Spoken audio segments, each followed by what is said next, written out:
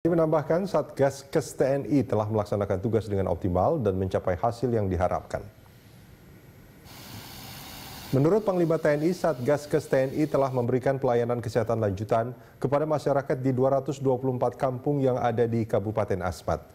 Terkait dengan kendala utama yang dihadapi tim Satgas Kesehatan yakni transportasi dan komunikasi, Panglima TNI akan menyiapkan transportasi dan alat komunikasi long range bertenaga surya agar dapat memantau tim kesehatan.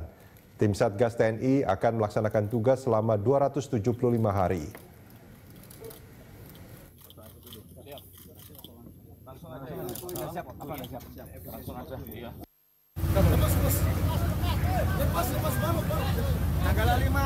Jadi uh, Satgas TNI sudah melaksanakan tugas dengan baik.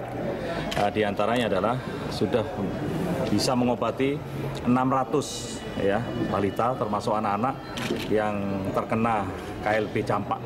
Semuanya sudah selesai karena di RSUD rumah sakit rumah sakit semuanya sudah uh, hampir uh, tidak ada pasien ya.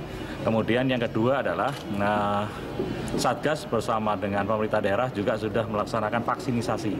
Ya, vaksinasi terhadap 13.336 orang. Semuanya tersebar di 224